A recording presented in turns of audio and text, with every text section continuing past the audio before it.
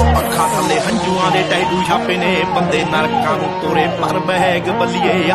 ਨਾਮ ਸੁਣ, ਲੋਕਾਂ ਦੇ ਪਸੀਨੇ ਛੁੱਟਦੇ। ਸਾਡਾ ਇਹੀ ਹੈ ਟੈਲੈਂਟ ਤੇ ਜ਼ਵਾਇਗ ਬੱਲੀਏ ਆ।